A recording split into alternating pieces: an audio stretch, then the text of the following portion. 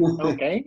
Thank you very much for the introduction and the invitation. It's a great pleasure to be uh, speaking at the Lisbon uh, webinar in analysis and differential equations. Uh, obviously, I'm not in Lisbon, but I'm also not too far away. Uh, so this is uh, going to be uh, about some relatively recent joint work with René Quilodrán. Um, on an extremal problem in harmonic analysis. Uh, I would like to start by just presenting three uh, apparently unrelated problems. The first one comes from geometry, and it asks for the following. So imagine you have the unit cube, say center at the origin, and you uh, in the dimensions, and you intersect it with a k-dimensional subspace. Uh, when k is one, this is just a line. When k is d minus one, we're talking about a hyper a hyperplane going through the origin. The question is, what's the maximal volume of the intersection of the unit cube with such a subspace? Okay, so this is the so-called cube slicing problem and has a rich history in uh, both uh, geometry and analysis. That's the first problem. Second problem comes from probability theory and um, it asks about uh, uniform random walks. So suppose you start at the origin and at every time step you walk a certain direction. That direction is chosen uniformly from the set of all possible directions on the sphere.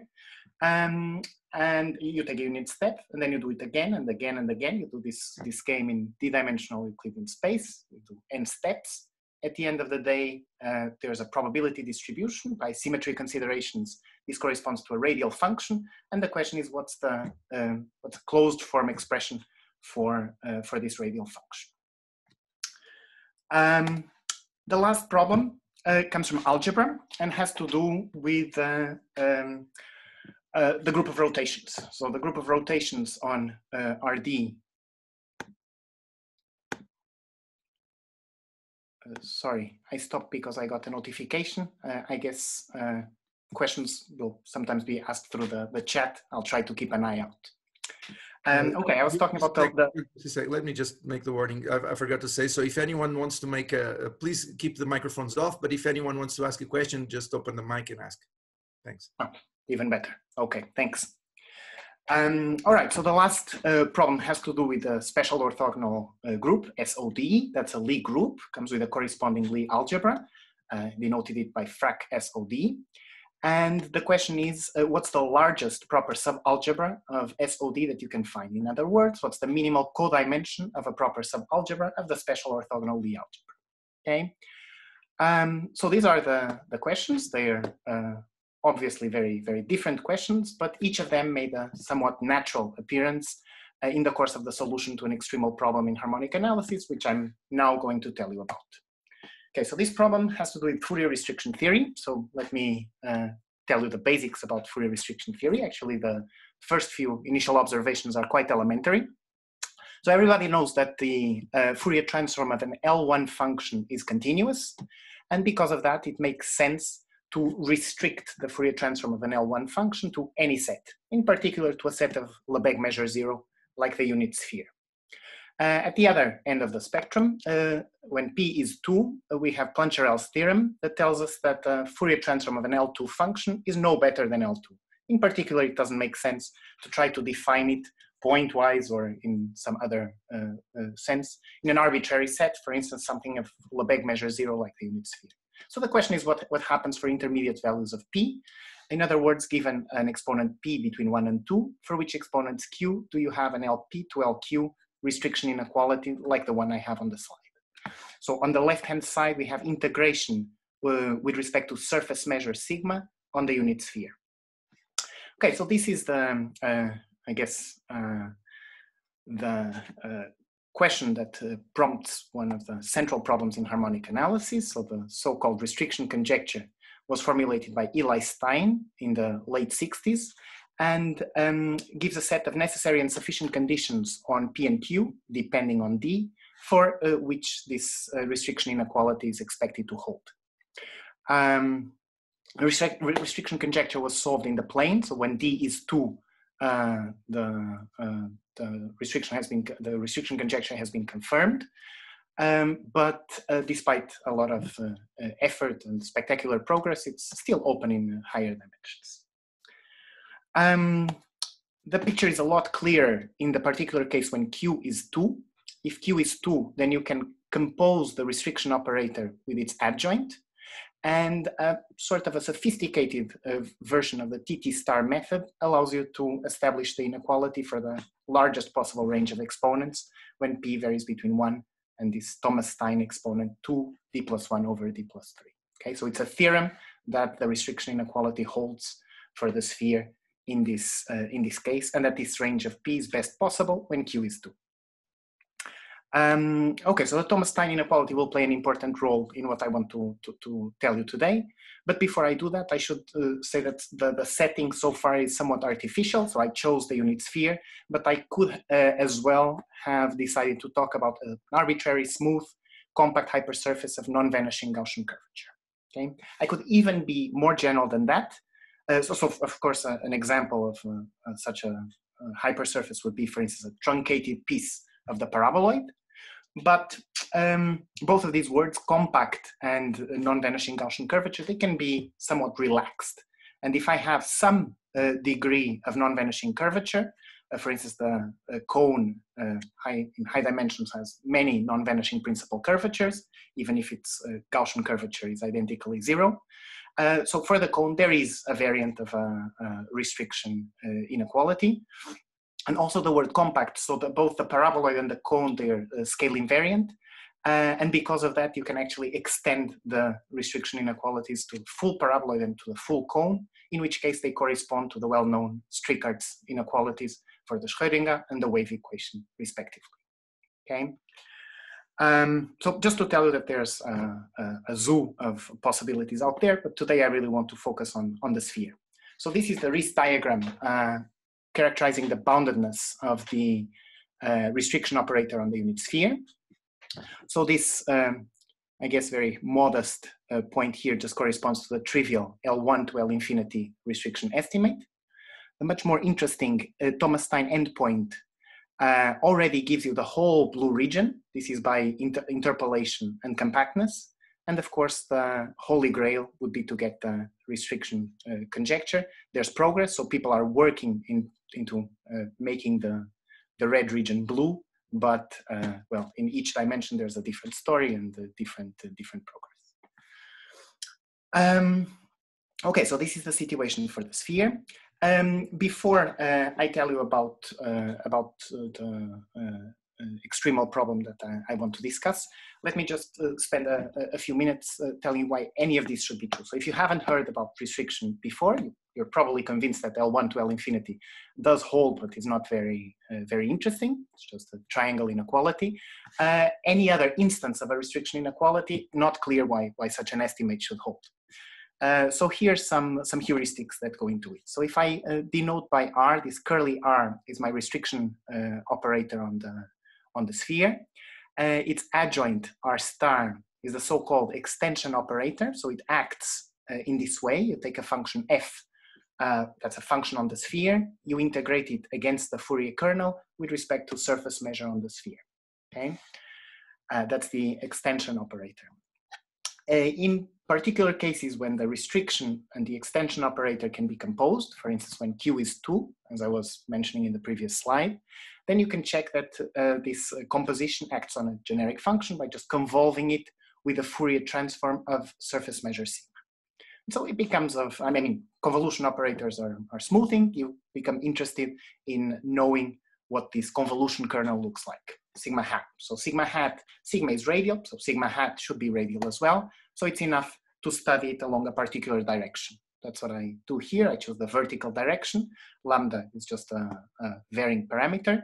And sigma hat at that point uh, is given by this oscillatory integral, which, uh, well, you can write in local coordinates in this way, and then appeal to something like the stationary phase method uh, to check that the phase function has a non-degenerate critical point, actually two of them, one on the north pole, another on the south pole, and uh, by invoking the appropriate um, stationary phase uh, estimates, you predict a decay in lambda of minus d minus 1, that's the dimension of the ambient space, over 2.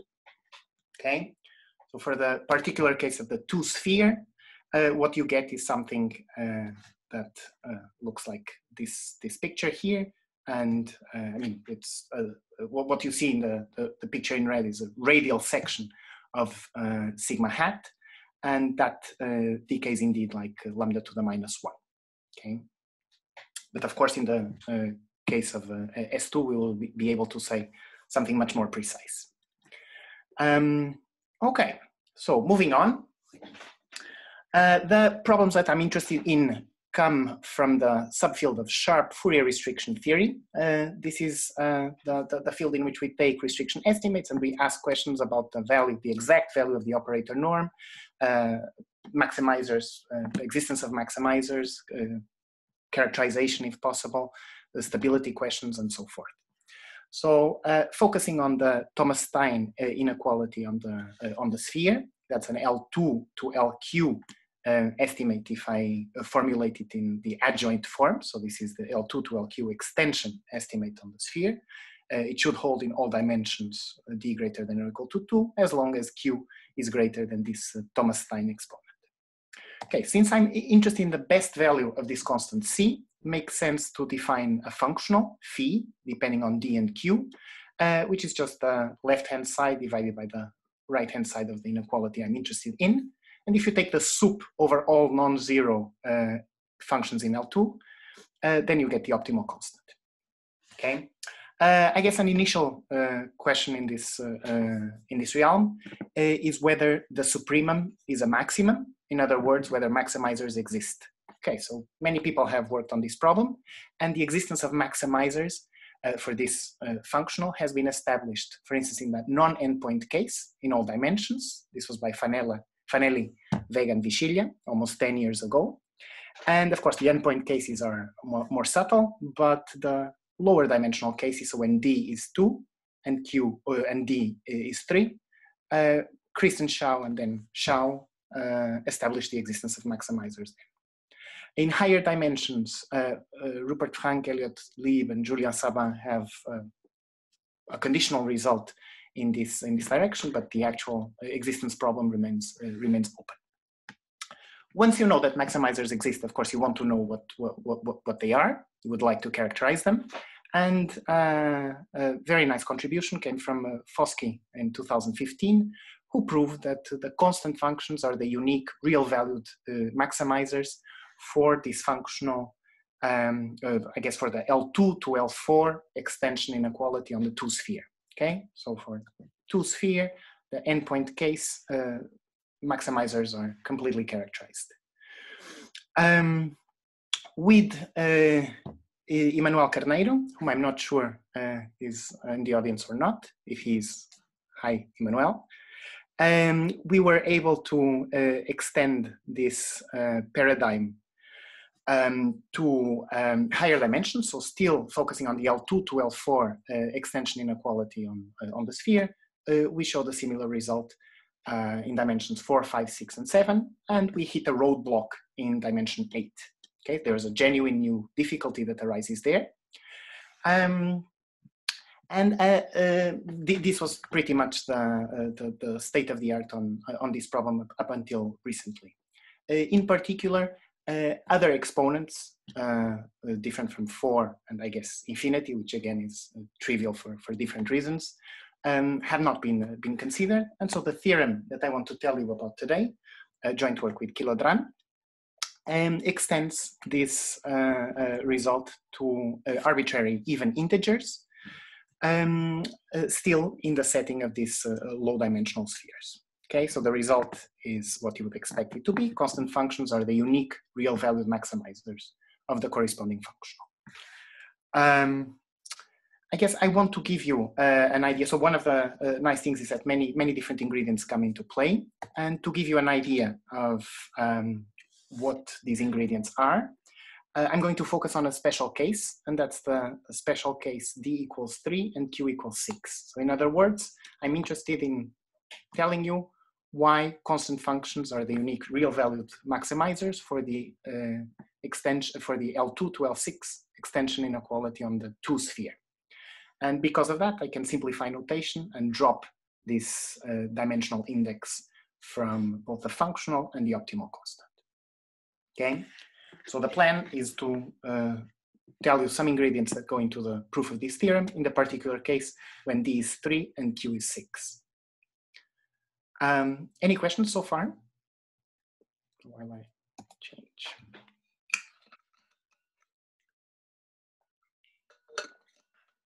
Okay, so the first step, yes, it's not very surprising. It comes from the calculus of variations. Um, so uh, we know uh, the, this functional that we are uh, studying, uh, phi6, we know that maximizers for phi6 exist. And so let f be a maximizer. And of course, we lose no generality in normalizing it in L2 uh, so that it has L2 norm equal to 1. Uh, now I'm denoting the extension operator by E. This is what I used to call R star. We already know that adjoint of the restriction operator is the extension operator, in which case uh, E star R uh, is the restriction operator. Okay, so I, I, would like to say something about the operator norm of E from L2 to L6. Well, since F is a maximizer, this operator norm equals the L6 norm of EF, uh, always raised to the appropriate power. I'm going to write this uh, uh, L6 norm uh, as a pairing between EF and something else, only because I want to use duality and uh, transport E to the other side, which of course picks up a star, okay?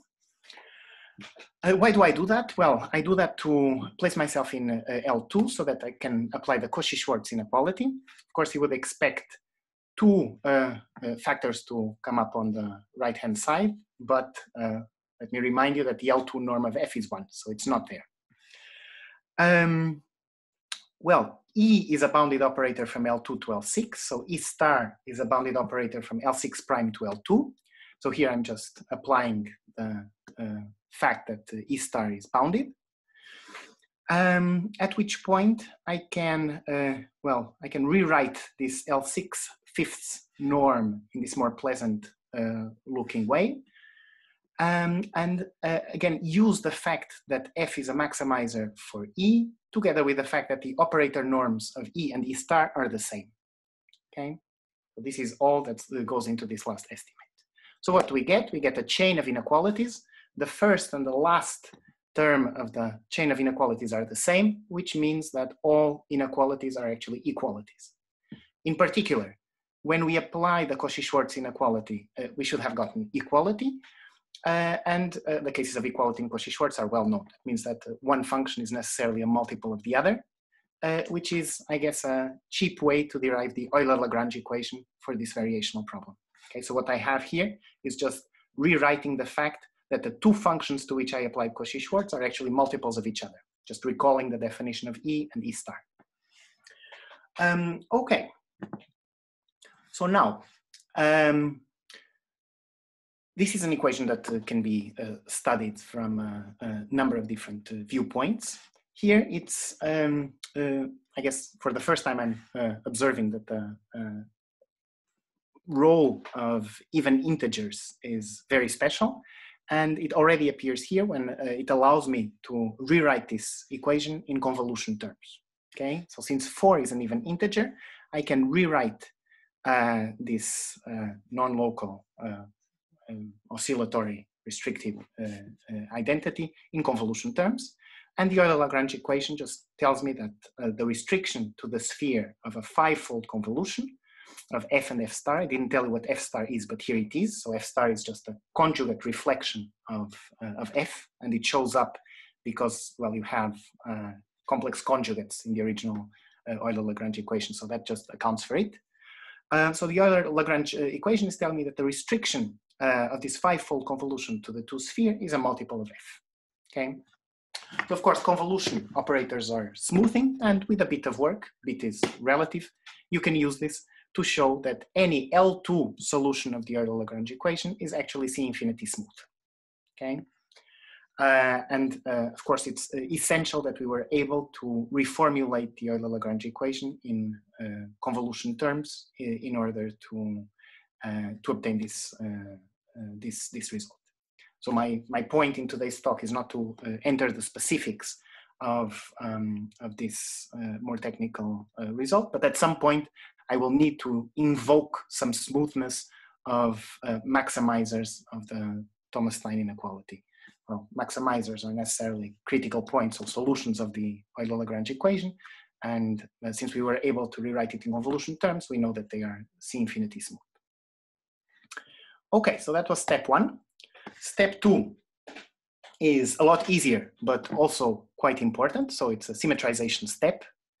And there are two kinds of symmetrizations that we can perform. The first one, again, using the evenness of the Lebesgue exponent in a crucial way, tells me that without loss of generality, I can restrict attention to um, I can restrict attention to non-negative functions.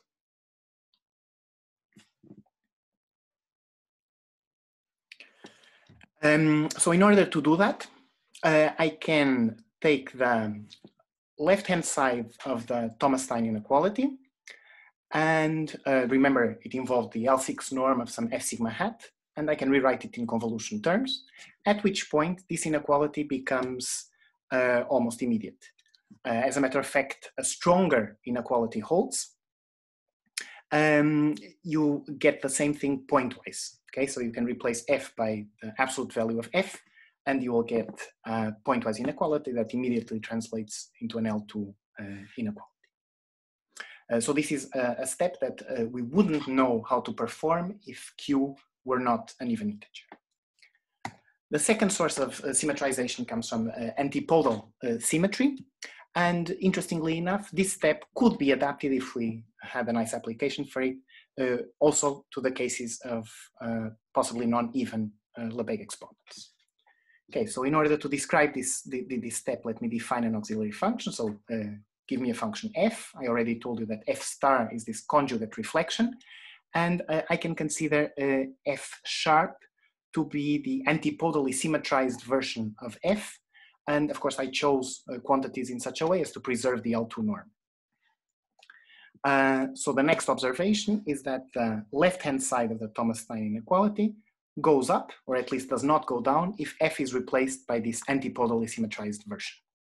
Okay, uh, so um, uh, I guess in this very particular case, when q is six, uh, this is just a consequence of, um, I guess, a tricky application of the uh, inequality between arithmetic and geometric means.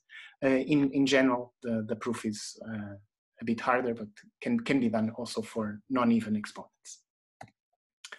Uh, okay, so after all of these uh, reductions, when we look at the optimal constant, first of all, we have a maximum here, and we can restrict attention to non-negative functions which are antipodally symmetric and C infinity smooth. Okay, this was the, the result of the first two steps. Um, the third step, uh, I guess, relies on some ingredients from uh, operator theory, and this is when we start to explore some of the compactness inherent uh, in this um, inherent to this problem uh, which of course is uh, something important to, uh, to explore if we want to say something about, about the maximizers. Um, okay, so you give me a function f in L2 of the sphere, and I ask you to consider the following operator. So this is operator t sub f, which acts on a function g in L2 of the sphere by convolving it with a certain kernel. The kernel is k uh, sub f, which is given equivalently as the inverse Fourier transform of the fourth power of uh, f sigma hat, or again, because 4 is an even integer, this fourfold convolution with some f's and some uh, f stars. Uh, why uh, do I care? Why do I uh, consider this operator? Why is it natural? Well, turns out that the Euler-Lagrange equation from a few slides ago is precisely the eigenvalue problem for T sub f. Okay, so it's just a way of uh, rephrasing things. But uh, of course, it's uh, natural to try to explore, to understand this operator T sub f from the functional analytic point of view. Uh, and so I'll just list some elementary properties of the kernel K sub f and see how that translates into properties of the operator T sub f.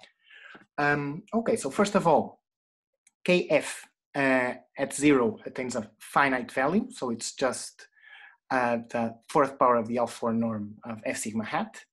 And uh, well, this is finite as long as F is in L2 because of the endpoint Tomas-Stein inequality, which remember in three dimensions is L2 to L4. Uh, moreover, KF is conjugate symmetric. Uh, this is just a reflection of the fact that as many stars as non-stars appear in this four, fourfold convolution that uh, defines the, the kernel. And uh, finally, an easy application of something cheap like the Riemann-Lebesgue lemma um, allows you to check that the K sub f defines a bounded and continuous function on the whole of R3. Okay, so these are properties of the kernel.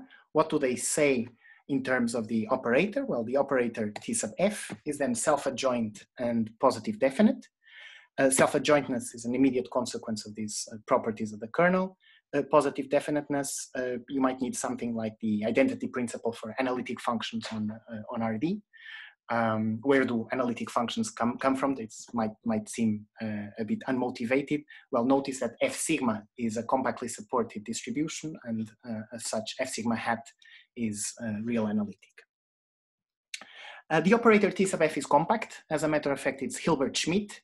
And uh, a way to uh, check this is uh, just to define this companion kernel. I called it KF flat. Um, it's uh, in L2 of the, uh, of the product space. Um, and as a matter of fact, the operator T sub f is more than Hilbert-Schmidt, it's actually trace class. Um, I guess uh, the easiest way to see this is to invoke one uh, of the classical consequences of the spectral theorem for self-adjoint compact operators, namely Mercer's uh, theorem. So Mercer's theorem uh, even gives us an expression for the trace of T sub f in terms of the integral of this companion kernel over the diagonal. Okay, and that this is a finite quantity follows from the properties that we already observed about the kernel. Okay, so the take, takeaway message from this, uh, from this slide is that uh, given uh, a function f in L2, I'm able to uh, construct an operator, uh, trace class self-adjoint positive definite operator, um, the eigenvalue problem for which is equivalent to the Euler-Lagrange equation. Okay. Uh, now it's, I guess, time to talk a bit about the symmetries of the problem. So the whole action is happening on the sphere. The group of symmetries of the sphere is the orthogonal group. If we look at the uh, subgroup of uh, um, guess orthogonal matrices of determinant one, we have SO3. Uh, that comes with a Lie algebra, and it's a fact that the exponential map from the Lie algebra to the Lie group happens to be surjective, which means that uh, I can, uh, well, for every rotation, I have an infinitesimal uh, generator that uh, will play a role in the lemma that I want to uh, present. Well, before, before I do that, I should say that um, um, there are uh, a number of operations that uh, do not interfere with the functional. Namely, if I have a function f, I might, uh, well, f lives on the sphere, remember, so I can rotate f, and that's not going to change the value of the functional. I can also multiply the function f by a character, and that's also not going to change the value of the, of the function. Um, ah, right, so one thing I need, I need to define is, um, well, if you give me uh, a matrix A in this Lie algebra SO3, so that's just a, a skew symmetric matrix, I can try to differentiate F along A. So I'm calling this the A derivative of F, and that just measures the rate of change of F infinitesimally when you uh, rotate it. Uh, so the first lemma, I call it new from old because this is a way uh, to get new eigenfunctions from given eigenfunctions. Uh, so let's assume that uh, an eigenfunction for t sub f is given. So let uh, f be a non-constant real valued function.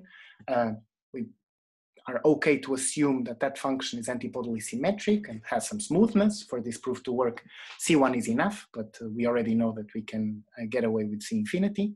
And let's normalize it in L2. Uh, so further assume that f is an eigenfunction of um, uh, the operator t sub f. Uh, equivalently, it satisfies the Euler-Lagrange equation for some, for some lambda.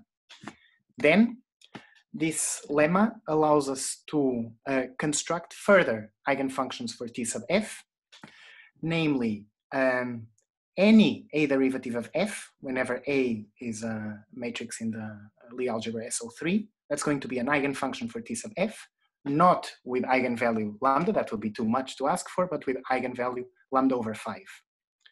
Uh, same thing uh, when you multiply f by uh, one of the coordinate uh, functions. So here, I just, yeah, I'm looking at uh, omega uh, point on the two sphere with coordinates omega 1, omega 2, omega 3.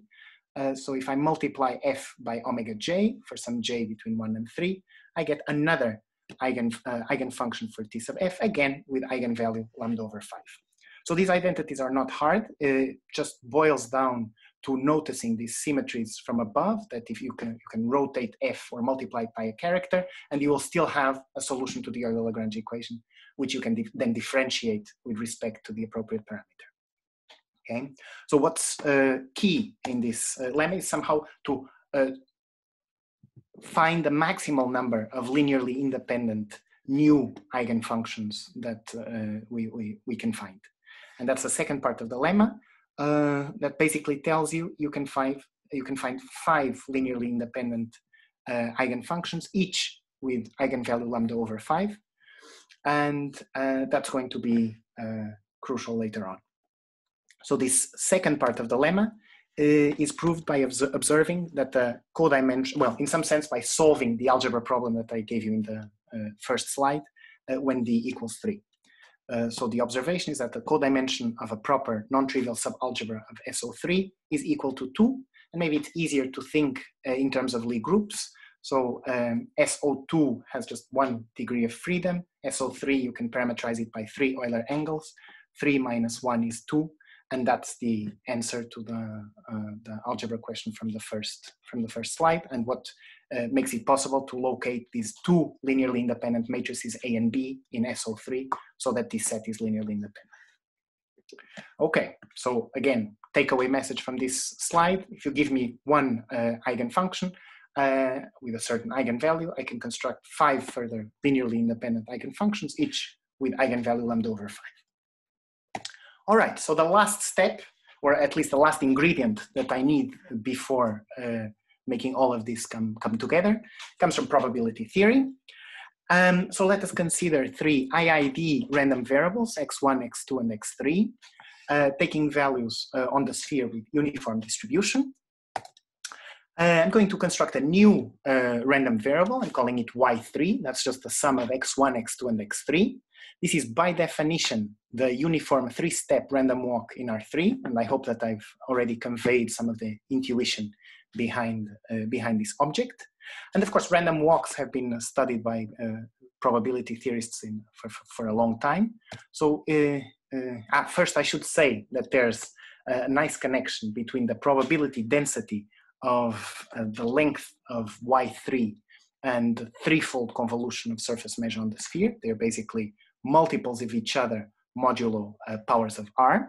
Uh, you can check this just by Fubini's theorem, some easy integration in polar coordinates.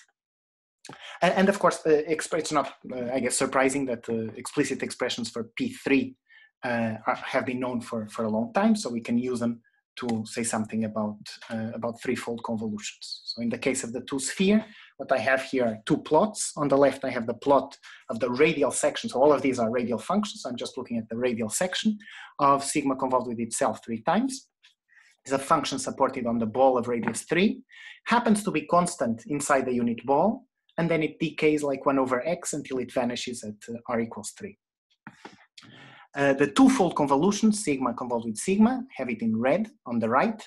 And uh, well, that's a more singular object. It happens to blow up at the origin, like 1 over x, and it also fails to be continuous at the boundary. So it's supported on the ball of radius 2 and uh, has a discontinuity there. In any case, explicit expressions are known, just uh, showing you a cartoon, and uh, we care about them because we want to say something about the value of these functionals, so phi 4 and phi 6 at the constant function. Well, there are some numbers. I don't really care about the precise powers of pi that show up. What I care is about the ratio between these two, these two quantities. So um, phi 6 and phi 4 differ by a factor of 2 pi. That's what I'm going to need in the next slide. So I kindly ask you to bear that in, in mind. Um, I guess this is what I wanted to say about step five, and now it's time to put it all together. Okay, so recall that our goal is to show that constant functions are the unique real valued extremizers for the L2 to L6 adjoint restriction inequality on the two sphere. Uh, so it will be enough to show that any non-constant critical point, um, let's say real valued C1, um, well, it suffices to show that any non-constant critical point is not a maximizer, right? Because the maximizers are supposed to be the, uh, the constant functions. Um, okay, because of our previous discussion, we uh, are okay to assume that F is antipodally symmetric and L2 normalized. Uh, F is a critical point, so it satisfies the Euler-Lagrange equation, or equivalently this eigenvalue problem for T sub F.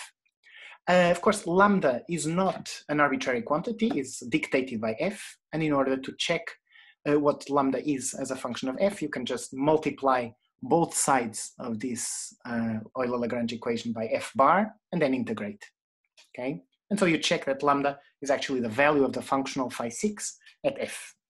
We want to, uh, to say something about uh, phi 6 at, uh, uh, uh, at f, so this just tells us it's lambda.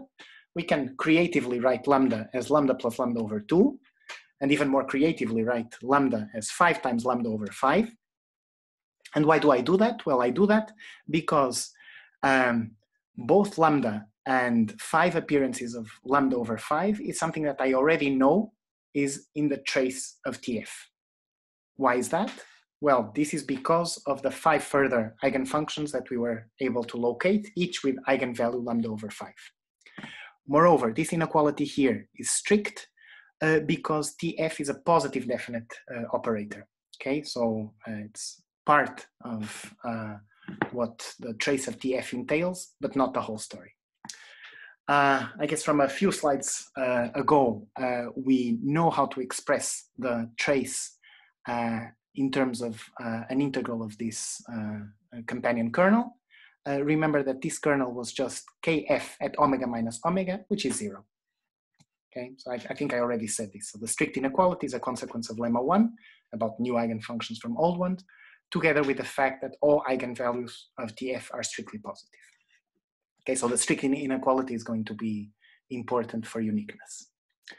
Um, okay, so uh, picking up where we left it, uh, Kf at zero, uh, one of, I guess the first property of Kf was that this value is just uh, the L4 norm of F sigma hat, raised to the fourth power. Well, but since F is L2 normalized, this is precisely the value of the functional phi 4 of F. And now it's time to invoke Foschi's result. Okay, so Foschi tells us uh, that the endpoint Tomas Stein uh, L2 to L4 extension inequality is maximized by constants. Uh, F is not a constant, uh, so uh, we have uh, less than or equal to sign here. Okay, so the latter inequality follows from Foschi's result. from the last slide, so the one bit from the last slide that I asked you to remember, uh, we have this ratio between the functionals phi 4 and phi 6 acting on the constant function. The ratio is 2 pi. And so we can just read the first chain of inequalities, multiply the second chain of inequalities by 2 pi, and use this information in the box to conclude what we wanted. Okay. So I guess this concludes the proof, and this is why um, constant functions are the unique real valued uh, maximizers for the L2 to L6 extension inequality on the two sphere. Uh, I guess um, I still have some time, so um, th this would be a good time for questions if anyone has one. Um, if not, uh, I think I will spend some time telling you two things. First, how to extend this uh, uh, result to other even exponents, still in dimension three. Then if I have time at the end, I will tell you what happens in higher dimensions. Okay, so extension to all even exponents. We did q equals six, let's now take care of q equals eight, 10, 12, and so forth. Um, so the good news is that the proof that I showed you seems to mostly uh, carry through with a small hiccup at the end. So the very last identity we needed, this identity in the box here, um, was a precise identity that worked just beautifully.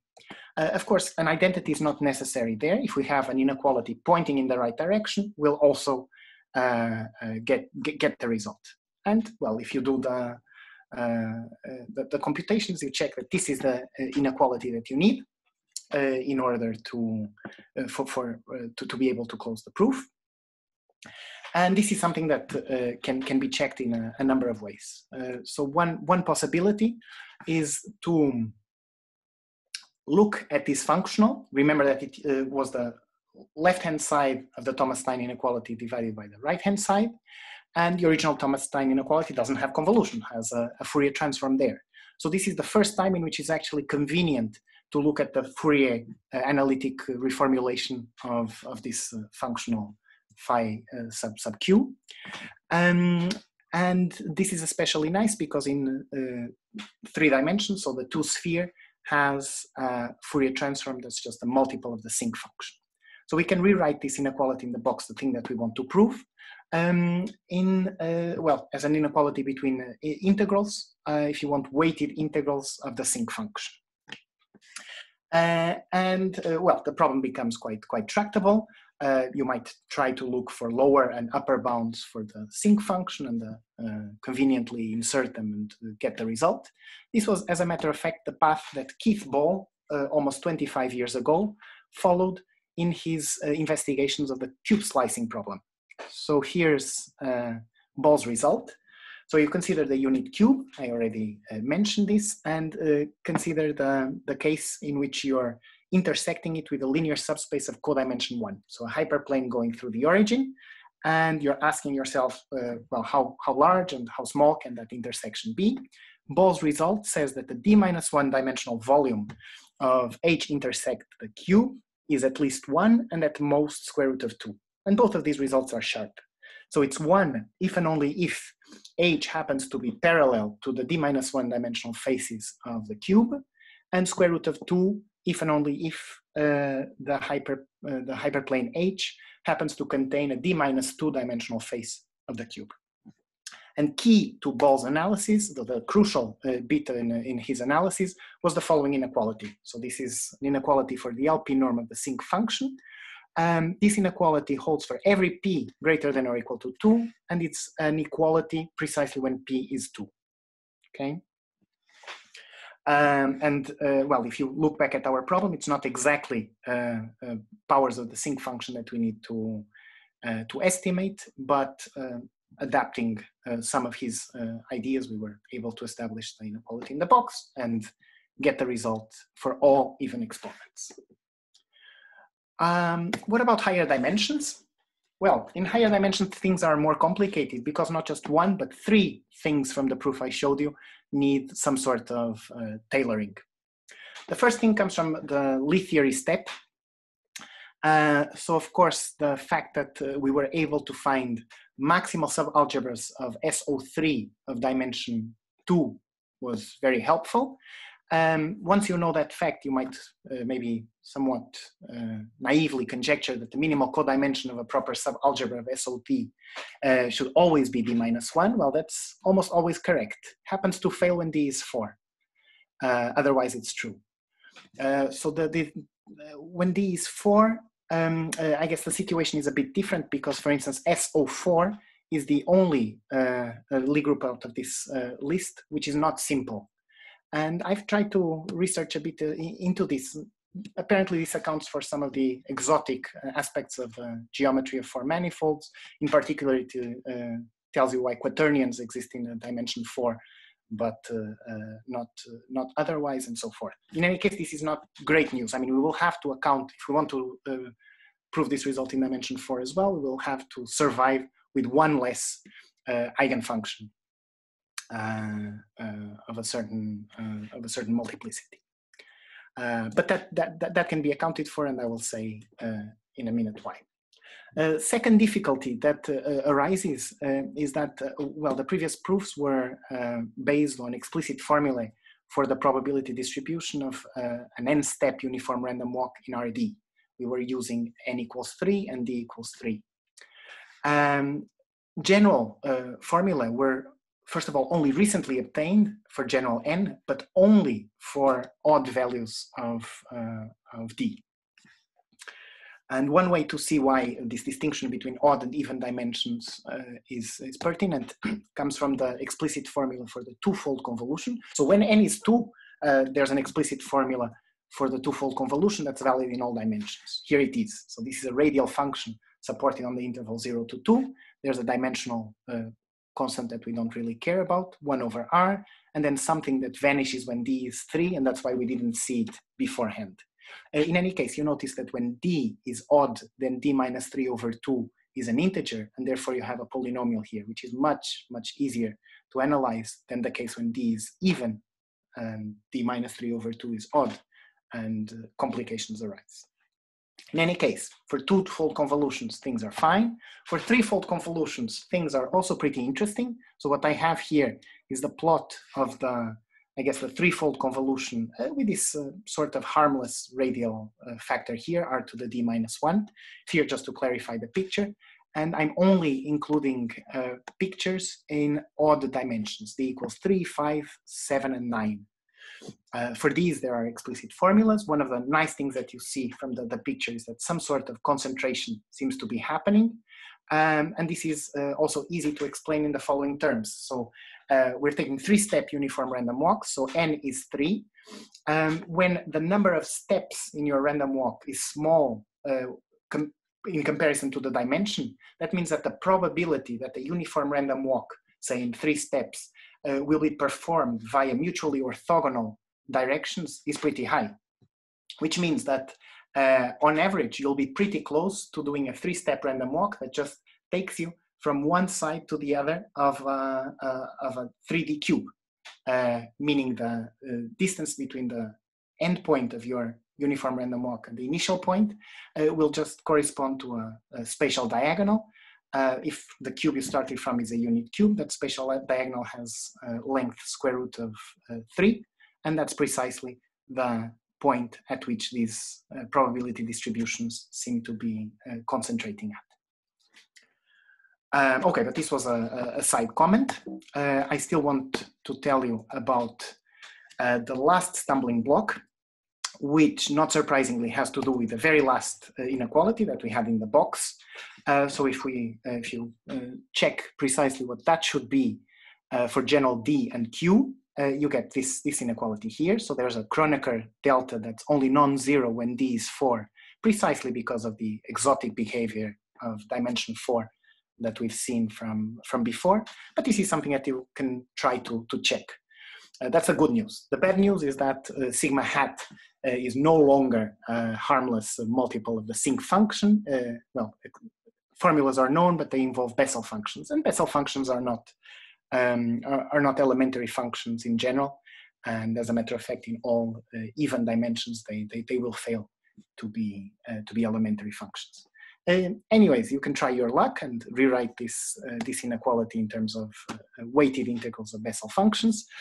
And uh, well, this is something that uh, uh, might not be very pleasant, but at least the computer can tell you something, something about it.